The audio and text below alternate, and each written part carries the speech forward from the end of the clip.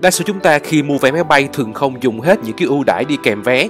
Tuy nhiên, trong một số trường hợp, một ưu đãi nào đó lại phát huy tác dụng trong những khoảnh khắc cận kề giờ bay, như việc mình đã có thể về nhà sớm gần 3 tiếng đồng hồ so với dự kiến ban đầu, có thêm thời gian để nghỉ ngơi. Nào, các bạn hãy cùng lên một chuyến bay của Vietjet với Travis nhé.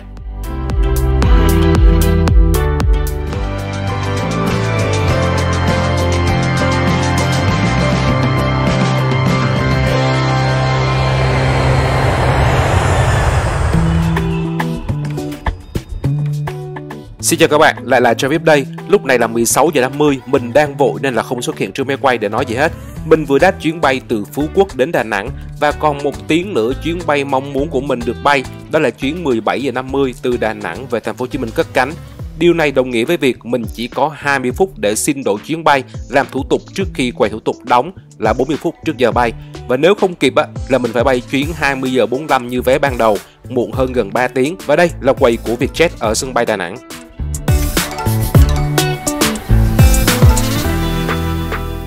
Ok, thì câu chuyện là như thế này, hơi rắc rối xíu. Mình có chuyến bay từ Phú Quốc đi Đà Nẵng rồi ở lại đây vài ngày để đi quay vlog. Tuy nhiên, kế hoạch giờ chót bị thay đổi, mình không muốn ở lại Đà Nẵng ngồi không nên đành quay về thành phố Hồ Chí Minh luôn. Mà xui một cái lúc đó là mình đã làm xong thủ tục cho chuyến bay từ Phú Quốc đi Đà Nẵng rồi và chuẩn bị lên máy bay rồi. Cho nên mình đành ngồi ở sân bay Phú Quốc mua gấp một cái vé từ Đà Nẵng về thành phố Hồ Chí Minh ngay trong ngày hôm đó luôn. Và mình đã quyết định mua vé Skybus giá khoảng 2 triệu rưỡi. Và cái vấn đề ở đây là chuyến bay từ Phú Quốc đi Đà Nẵng có thời gian đáp dự kiến theo như trên lịch đó là 17 giờ và mình không chắc là có thể nối chuyến tiếp theo từ Đà Nẵng đi thành phố Hồ Chí Minh lúc 17 giờ 50 hay không. Cho nên mình chọn chuyến xa xa một chút là chuyến 20 giờ 45 cho chắc ăn. Còn tại sao mình mua vé Skybus của Vietjet? Vì hôm đó mua sát giờ, vé hạng phổ thông của các hãng, kể cả của chính Vietjet cũng rất là mắc, gần bằng vé Skybus luôn. Cho nên mình quyết định mua vé hạng cao cấp này vì một ưu đãi của Skybus có thể cứu mình vào phút chót. Đó chính là đổi giờ bay miễn phí. Và thật may mắn, chuyến bay từ Phú Quốc đi Đà Nẵng của mình cất cánh sớm và đến Đà Nẵng sớm hơn dự kiến. Lúc này là còn một tiếng nữa chuyến bay mong muốn của mình mới cất cánh và trừ đi thời gian đóng quầy làm thủ tục là 40 phút trước giờ bay thì mình có đúng 20 phút để hoàn tất mọi thủ tục đổi vé và vào làm thủ tục hàng không gửi hành lý.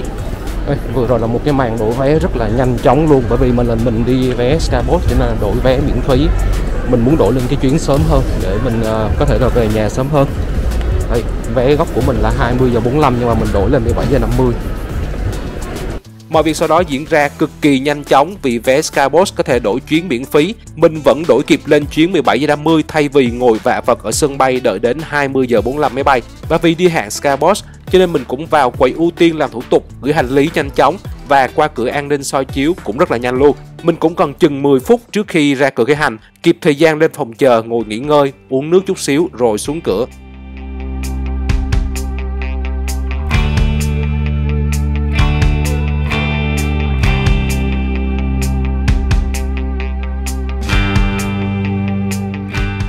Còn bây giờ thì mình xuống cửa khởi hành. Cửa khởi hành hôm nay là cửa số 1. Thời gian ngồi phòng chờ không được lâu, nhưng mà được cái là có thể về nhà sớm còn nghỉ ngơi nữa. Hành khách Skybus được đưa ra máy bay bằng xe riêng. Bác Tài thì bị bất ngờ vì khi nãy bác vừa chở mình từ máy bay vào nhà ga xong, bây giờ lại thấy mình lên xe ra máy bay nữa rồi. Hôm nay thì mình bay với một chiếc Airbus A321 và hai hàng ghế đầu thì dành cho hành khách đi hạng Skybus. Và trước chuyến bay thì hành khách Skybus được phục vụ nước và khăn ướt.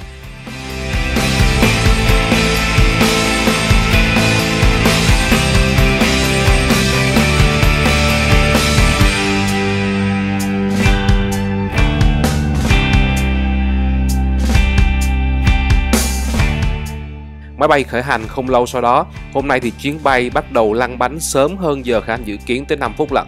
Và thời gian bay dự kiến của mình là 1 giờ và 10 phút bay.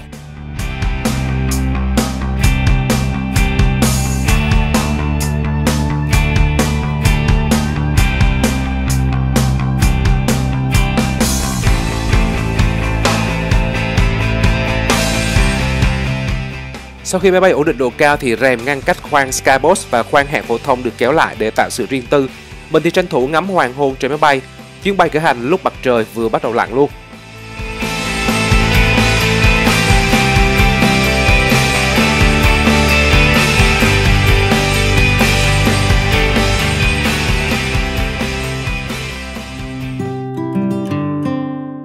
Và khi bay Skybus, hành khách sẽ được phục vụ bữa ăn nóng mà không phải trả thêm tiền vì bữa ăn đã kèm trong vé rồi.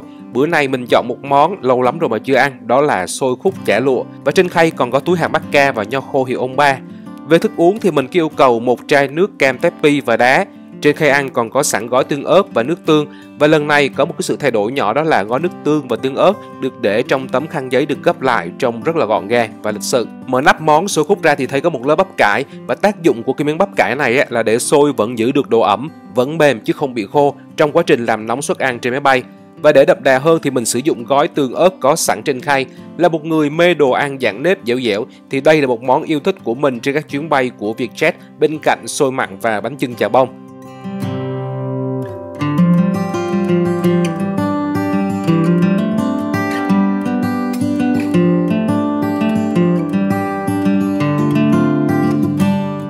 Và cuối bữa ăn thì mình uống nước và nhâm nhi bịch hạt mắc ca nho khô yêu thích, rồi ngồi nghỉ ngơi đợi máy bay hạ cánh thôi. Và lúc này thì mình đang háo hức được trở về nhà hơn bao giờ hết sau một tháng rong ruổi đi quay vlog khắp nơi.